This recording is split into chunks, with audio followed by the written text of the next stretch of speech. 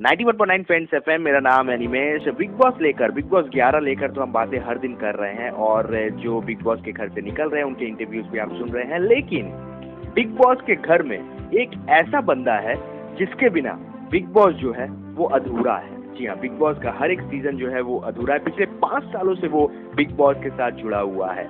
हम बातें कर रहे हैं चिंतन गंगार की। अब आप समझ नहीं पा रहे हो कि चिंतन गंगार कौन है। बता दो, चिंतन गंगार है बिग बॉस 11 के घर में नज़र आने वाले जल्लाद की मैं बातें कर रहा हूँ। जी हाँ आप वीकेंड के वार में जल्लाद को देख पाते हैं।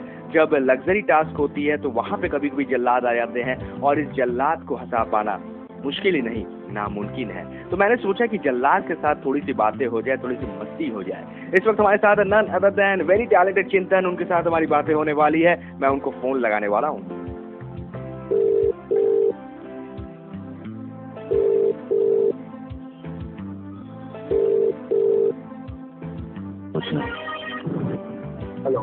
चिंतन भाई हाय आरजी अनिमेश बोल रहा हूँ फ्रेंड्स एफएम कोलकाता से। या या या बोलिए बोलिए। कैसे हैं sir ji? All good all good Chintan आपका बहुत बहुत स्वागत है 91.9 फ्रेंड्स एफएम पे। 40 लाख लोग आपकी आवाज़ इस वक्त सुन रहे हैं। कुछ कहना चाहेंगे? हेलो नमस्ते अस्सलाम सत श्रीकाल केम शो भालो Kolkata love you Kolkata. I always love Kolkata it's a very beautiful place and Saurav Ganguly, one of my favorite fan. I'm a big fan of Saurav Ganguly and he belongs from Kolkata. And it's a very beautiful city and I love all people of Kolkata.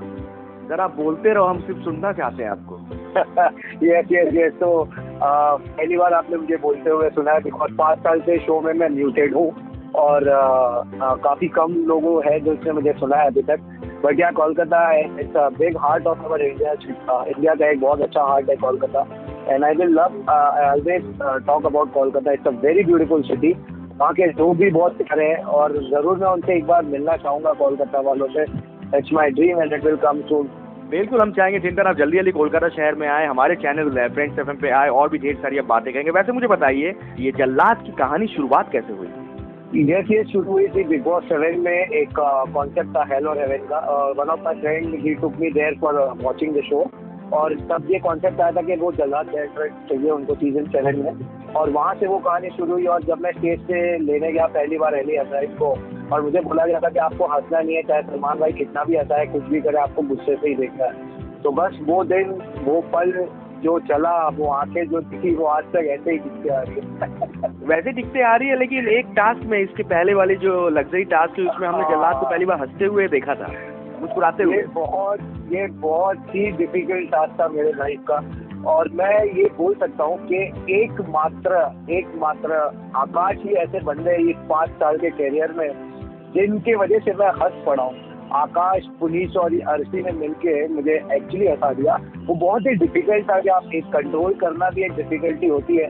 फिर भी मैंने काफ़ी हद तक control किया but vaccine में जो उसके रिएक्शन थे उसको देखना तो यार मतलब रावण भी होता ना, अगर भगवान ने वरदान भी दिया होता कि तू ज़िंदगी भर नहीं हंसेगा तो भी वो हंस देता। इतनी कॉमेडी टास्क थी।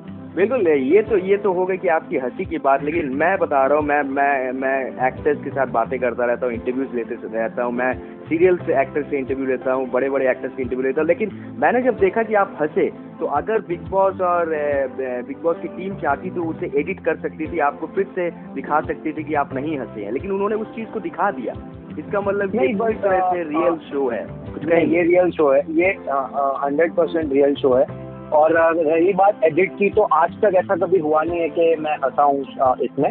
बट ये हँसी जो होती है ना, एक आपकी नेचुरलिटी नेचुरल जो हँसी होती है, वो बहुत अलग और प्यारी होती है। तो वो कहीं ना कहीं ऐसा दिखना भी चाहिए पब्लिक को कि उन्हें ऐसा नहीं लगना चाहिए, जल्दा रियल में मुझे बहुत जन बोलते हो, आप हँसते हो, बोलते हो बट मैं रियल में बहुत फन लविंग इंसान तो कहीं ना कहीं एक छोटा सा कैरेक्टर बाहर आना भी ज़रूरी था। और पाँच साल में अजूबा एक ही बार होता है, मैं ये तो नहीं कहूँगा, मैं हर बार हंसूँगा। अपने कपिल शर्मा के साथ भी गया था, अंदर मैं नहीं हंसा था तब।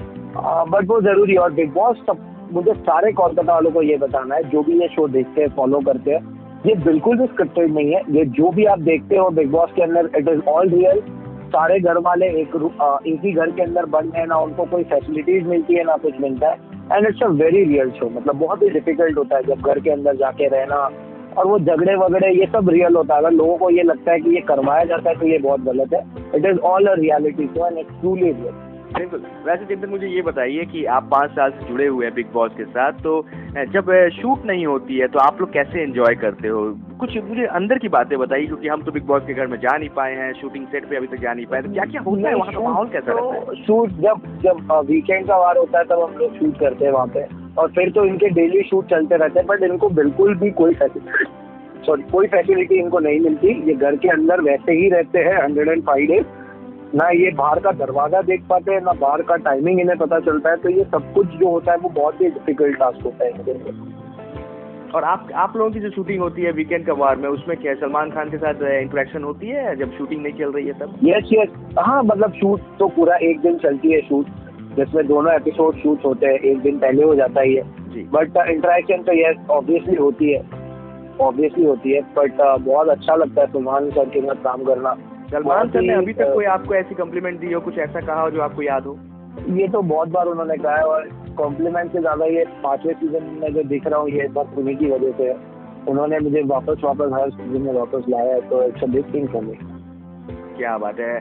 जिंदन आप आप बहुत अच्छे एक्टर हैं आप नज़र आ रहे हैं। आने वाले कुछ फ्यूचर प्लान्स के बारे में बताएँगे। बिग बॉस तो चल ही रहा है बहुत अच्छा लग रहा है लोग आपको प्यार कर रहे हैं। और साथ ही साथ आप क्या क्या करना चाहेंगे? बस अब मेरी एक फ़र्स्ट मूवी आ रही है, जिसका नाम है गुजराती वेडिंग इन गोवा ये गुजराती अर्बन मूवी है, जो मैंने फ़र्स्ट टाइम अभी मैंने अभी तक कोई मूवी नहीं की थी. But this is my first ever movie which is releasing in January और इसमें मेरा कैरेक्टर जो है I am being a main villain lead in that movie तो ये मेरे अपकमिंग प्रोजेक्ट है और बाकी भी मैंने चार पाँच पिक्चरें साइन किए बट वो विद इन फेब मार्च वो भी रिलीज़ होते जाएगी one by one one by one आप टॉप फाइव में किसको किसको देख रहे हैं? आ, अगर मैं अपनी बात बताऊँ तो शिल्पा टॉप फाइव में मैं देख रहा हूँ अर्शी अर्शी को मैं देख रहा हूँ हीना को मैं देख रहा हूँ टॉप फाइव में और आकाश को मैं टॉप फाइव में देख रहा हूँ विकास को देख रहा हूँ। ये मेरे लिए टॉप फाइव हो सकते हैं जो हिसाब से गेम चल रहा है। क्या बात जिंदन thank you so much friends को समय देने के लिए। हम चाहेंगे आप जल्दी जल्दी कोलकाता शहर में आए और भी ढेर सारी बातें होगी। स्टूडियो में बैठ के हम धूम मचाएँगे ढेर सारी बातें करेंगे। Thank you so much sir ये कोलकाता वालों को मुझे एक गाना सुनाना है दो लाइन का जी बिल्कुल जो अ, अ, मैं उन्हें सुनाना चाहूँगा अ, ये भाई का बहुत ही फेवरेट गाना है और मेरा भी बहुत फेवरेट गाना है